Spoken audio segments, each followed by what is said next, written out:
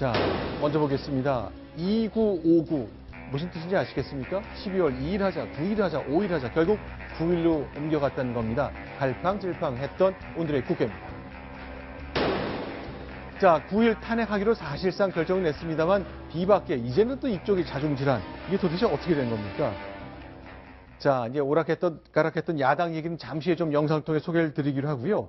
자, 심정수 차장 네. 좀 설명 좀 정리를 좀 부탁드리겠습니다. 네. 뭐 많이 왔다 갔다 했잖아요. 2959라고 저희가 숫자로 정리했는데요. 원래 오늘 본회의에서 처리를 하려고 했었죠. 12월 2일을 디데이로 잡았었는데 네. 대통령이 퇴진을 처음으로 거론한 이후에 구- 그 새누리당 비박계가 이탈하는 조짐을 보이면서 국민의당은 어쨌든 발의도 중요하지만 가결해야 된다. 200표 이상은 무조건 필요하거든요. 그러려면은 비박계한테 시간을 주자 해서 9일로 가자 이렇게 했습니다. 그래서 어제 야 3당 중에서 국민의당이 박지원 그 비대위원장이 9일 처리 카드를 들고 들어가고 나머지 두 당은 2일 처리를 고수하고 협상을 했으나 빈손으로 끝났습니다. 불발 협의가 그냥 합의가 안 되고 끝나서 박지원 위원장이 국민의당에 다시 돌아가서 의원들한테 설명을 했는데 거기가 완전히 난리가 났습니다. 거의 압력솥처럼 드글드글 끓다가 결국은 9일까지는 안 되고 5일까지는 우리가 기다려주겠다. 이렇게까지 이제 결론이 났는데 오늘 다시 9, 그 9일날 하는 것으로 다시 야3당이 모여서 지도부가 그 일단 합의를 한 상태입니다. 자, 대통령의 생각은 굉장히 일관되어 왔던 것 같습니다. 국민들이 동의하건 안 하건 그건 나중 얘기인데요. 그러나 우리 국회 3당이 얽히고 설키다 보니까 별의별 일이 다 있었습니다. 그 장면을 저희가 영상으로 준비해 봤습니다. 굳건한 공조로 국민이 이길 수 있다 하는 것을 어제 상야당 대표가 여당과 대응하지 않고 탄핵에 한다. 그런데 주의 대표가 오늘 아침에 김무성 대표를 만난 것 저는 대단히 유감스럽겠습니다.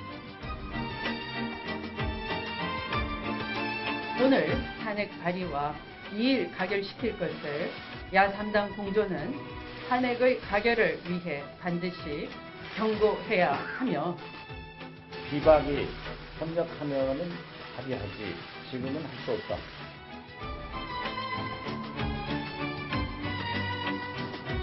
또 만났네 또 만났어 야권 균열의 모습을 보인 것에 대해서 대단히 죄송하게 생각합니다. 철저히 공조하고 새누리당 의원들은 설득하겠다. 뭉쳤 다가 네. 분열했다 이런 반복적인 모습을 보여주는 것은 네. 정말 국민들에게 많이 맥빠지게 만드는 겁니다. 네. 두분 다 저런 어, 에, 행태를 되풀이해서는 안 되는데 지금 상당히 우려스러운 상황이 말이죠. 만약에 7일 이전에 네. 대통령이 4월 사퇴 발언을 할 경우에 네. 이건 또 어떻게 해야 될 것이냐. 이를테면 탄핵의 캐스팅 보트를 쥐고 있는 비박계가 흔들릴 경우가 있습니다. 네. 탄핵에 불참할 경우에 더불어민주당은 계속 탄핵을 할 것인지 말 네. 것인지 국민당은과는 또 어떤 공조를 할 것인지 야당 일시에 또 분열할 조짐이 있거든요. 그래서 네. 앞으로 예견되는 상황을 충분히 대비를 해서 야권들을 어떻게 해야 할 것인지를 잠정적인 시나리오를 만들어 놔야 됩니다. 네. 그렇지 않고 대통령이 말 한마디, 회견 한마디 툭툭 던질 때마다 흔들리면요. 네. 이게 이제 촛불 집회가 어디로 어, 이 굴러갈지가 모릅니다. 네. 그래서 지금이라도 빨리 4월 사퇴 이후의 모든 탄핵 가능성을 예상 시나리오를 만들어 놓을 필요가 있다. 최 박사님 말씀하신 게 전적으로 동의를 하는데요. 사실은 그 국회가 그냥 촛불 민심하고 같이 움직이고 거기에 겹불 째서 이렇게 버텨갈 게 아니라 앞으로 그럼 우리나라는 어떻게 가야 되는지 우리 향후 정치 로드맵은 어떻게 돼야 되는지를 만들어줘야 되는데 애초에 무슨 거국내각 뭐 하다가 대통령이 훅 던지니까 어 이거 나 싫어 그 다음에 또 이제 와서 또 나 언제 퇴임할래 그때 아 그것도 협의할 수 없어. 그냥 너무 좋은 게 최상, 최상급 한우 앞에 놔두고 어떻게 먹어야 될지 모르는데 다 뺏겨버린 상황이. 차라리 이 저기 시계가 고장이 나서 제자리에 있으면 하루에 두 번이라도 맞죠. 네. 그냥 세팅이 잘못돼서 계속, 계속 하루 종일 돌아가도 안 맞는 이, 이것처럼 돌아가고 있으니 이 답답할 노릇이고 지금 이 상황이 된 것도 사실은 뭐 어쨌든 대통령과 청와대가 제일 큰 책임이고 잘못됐지만 이거 제대로 정리 못하고 저렇게 그 추운데 나와서 고생하시는 촛불에 대한 국민들의 이 진짜 속내도 모르고 헤매고 있는 국회 두 번째 책임이라고 봅니다. 저는 이 모든 게 네. 탄핵에 임하는 그 야권의 그 과연 진정한 의도가 무엇인가를 그게 그대로 반영된 거라고 봅니다. 네. 이게 이번에 박 대통령의 어떤 제왕적 대통령제 네. 그리고 여기한 비선 실세에 의한 국정농단 네. 이걸 다시 앞으로 이런 일이 다시 되풀이돼서 안 되겠다 이런 취지에서 출발했으면요 네. 이렇게 흔들리지 않죠. 네. 이거는 국가와 민족에 좋은 일이니까 네. 비록 불행하지만 이 불행을 딛고 우리가 다시 한 걸음 나아갈 수 있다. 네. 이런 취지에서 출발했으면 어떤 일관된 어, 전략에 의해서 나아갈 수 있는데 지금 야권은 과연 언제 하고 언제 빨리 탄핵하고 언제 아니면 하야시키는 게 우리가 대통령 되는데 가장 유리한 걸 따지니까 네. 항상 기회를 보는 거고요. 네. 그러니까 저 일관된 전략이 없는 거죠. 두 번째, 이거는 또 무슨 방증이냐면은 이게 야권의 뜻대로는 지금 되지 않고 있는 상황이다. 네. 결국 말하자면 다 아시다시피 비박이 어떻게 나오에 따라서 달라진다. 네. 이런 걸 그대로 반증시켜 주는 거기 때문에 어, 야권의 지금 태도가 진짜 진정한 의도가 무엇인가를 많은 분들이 생각했겠지만은 정말 국가와 민족을 생각한 탄핵이냐, 네. 그 아니면 우리가 정권 잡는 데 필요한 탄핵이냐, 네. 이걸 그- 한번 생각해 봐야 된다 생각합니다. 사실 그런 점을 이제 이정현 대표가 간파하고 9일이건 언제건 만약 야권이 한 목소리를 탄핵을, 탄핵을 성사시키면 내 손에 장을 지진다 그랬거든요. 결국 이런 아픈 데 꼬집은 거잖아요. 그러니까 지금 네. 예, 위험한 게 9일날 네. 예정대로 탄핵안 처리가 될지 사실 지금 그것도 의문입니다. 왜냐하면 비박이만 참여를 하지 않을 경우에 네. 탄핵이 부결될 거를 충분히 예상을 하면서도 탄핵안을 처리할 건지 네.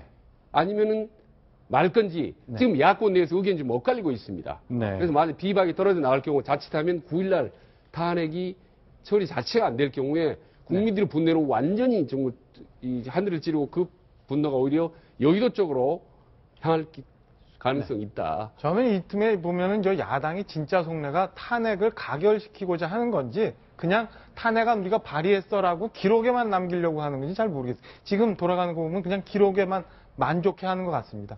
자, 그러나 어쨌건 여당 그리고 특히 새누리당의 비박 진영도 많은 부담이 있을 수밖에 없습니다. 탄핵 필요하다라고 생각하는 국민들 많이 있기 때문이거든요. 그것이 가장 헌법적인 방식의 대통령 퇴진이라고 묻는 국민들이 꽤 많이 있습니다. 그래서 그런지 자 정진석 원내대표를 포함한 여당 의원들 사이에 문자 항의 전화 쏟아지고 있다고 하는군요. 저희가 그 장면 영상으로 담아봤습니다.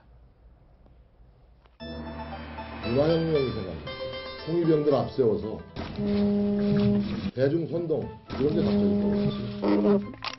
이게 전화번호가 아니라 아마 의원님들 주소가 공개되어서 의원님들 자택 앞으로 몰려가서 시위하라는 그런 선동이 있을지도 모르겠습니다. 마지막 날입니다. 우리 김강림 정책위장님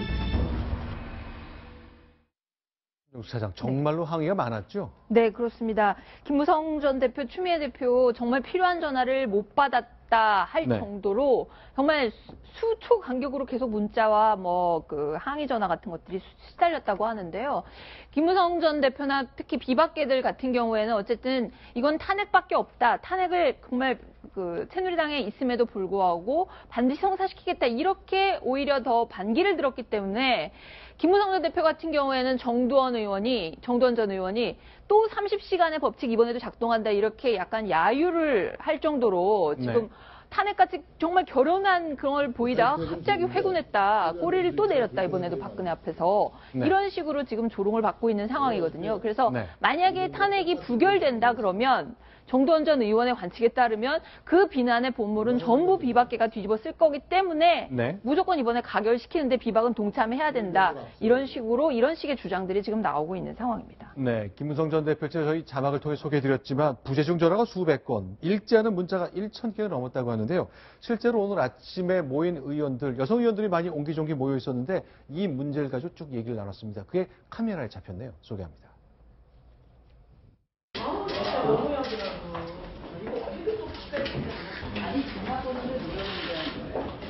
Thank you.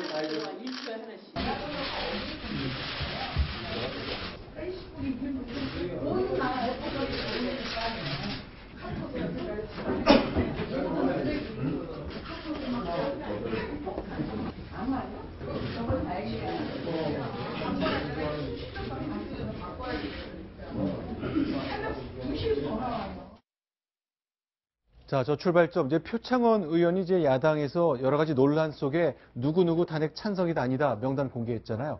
자, 물러설 뜻이 없다고 했습니다. 사과했지만 물러서지 않겠다고 했군요. 그 장면도 소개합니다. 많은 의원들께서 여러 국민들의 전화 연락을 받으시고 불편하다는 이야기를 들었습니다. 그 부분에 대해서는 진심으로 사과의 말씀을 드리겠습니다. 누가 서명하고 누가 서명하지 않는지 끝까지 국민과 공유해야 하겠습니다. 그에 대한 책임은 분명하고 명확하게 지겠습니다. 자, 그러니까 이제 홍위병, 예, 새누리당에서는 홍위병 얘기를 하고 이제 주소가 공개되면 의원들의 집 앞에서 촛불 시위가 열릴 거다. 이런 식으로 한 게 맞느냐라고 항의 뜻을 밝혔는데 계속 가겠다고 얘기하는 어, 거예요. 그런데 그, 저 표창원이 진심으로 사과한다고 말했는데 그 표정을 보면요. 네. 나는 전혀 그 굴하지 않겠다. 내가 네. 한 일은 전혀 잘못이 아니다. 그런 표정이 나타나서 말, 입하고 이게 시- 실제하고는 전혀 다른 것 같고요. 저는 그, 저, 새누리당 비박계 의원이 네. 이번에 만일에 이제 그, 저기, 차, 여기에 찬성했다. 탄핵에. 네. 찬성했다고 해서 국민들이 과연 비박계 의원을 다, 그 정치적 어떤 그걸 용서해 줄, 주리라고 생각하지 않습니다. 네. 그렇기 때문에 비박계 의원이나 새누리당 의원은 있죠. 대통령과 공동 책임을 지는 거지. 네. 뭐 탄핵에 찬성했으니까 아 참 잘했습니다. 다음에 당 당신들은 훌륭합니다. 그럴까? 저는 그게 의문입니다. 네. 그러니까 표창원 의원이 본인도 어 이제 미안하다고 하지 않습니까? 공개적으로 사과했듯이 저 행위 자체는 네. 사실은 어, 올바른 행동은 아니죠. 네. 이제 인정했지만 그러나 1분 1초 간격으로 전화를 오고 계속 새벽 2, 3시에 전화를 오고 말이죠. 네. 이 전화는 홍위병이어서가 아니라 사실은 이게 국민의 정서입니다, 현재. 네. 지금 저는 저 밀리드는 문자라든지 전화가 탄핵이 불발됐을 경우에 얼마나 거세게 올지 그리고 주소라든지 공개하지 않더라도 네. 국회의원에 가면 수첩하나 하면요 얼마든지 의원들이 신상을 발휘할 수 있거든요. 네. 그래서 저게 단순히 국회의원들이 불편하고 이렇게만 생각할 게 아니라 저게 바로 지금 현재 에, 불타는 민심이라는 것을 좀 냉철하게 좀 파악하고 대응할 필요가 있다고 봅니다. 네. 어쨌건 이제 새누리당 저렇게 대우를 갖춘다고 했습니다만 뭐 비대위원장 정하는 문제도 남아 있고 또 주말에 대통령 만날 가능성도 거론되고 있는 거죠. 네, 그렇습니다. 그 비대위 비, 비상시국 대책 회의 측에서 오늘 밝힌 내용인데요. 박근혜 대통령 측에서 좀 만나서 내 입장을 설득할 수 있는 그런 시간을 달라 그래서 청와대에서도 이르면 이번 주말이나 네. 아니면 다음 주 초까지 일단 네. 비대위에서 제시한 시한이 다음 주 수요일 7일 오후 6시까지는 두 가지 문제 퇴진 시점 명확히 해주시고 이선 후퇴한다는 거 정확히 밝혀달라 이 두 가지 그 부분에 대해서 응답을 달라고 해놓은 상태거든요. 네. 그렇기 때문에 이 부분에 대해서 뭔가 대통령과 사전에 얘기를 할 수 있는 그런 기회 같은 것들이 마련될 것이다 이런 관측이 나옵니다. 알겠습니다. 자, 이제 비대위원 정하고 주말에 만남은 과연 대통령이 만날지 그때쯤 대통령이 앞으로 일주일을 어떻게 끌고 갈지 그 단면도 알아볼 수 있을 것 같은데요. 아직은 좀 베일에 쌓인 것이 많습니다.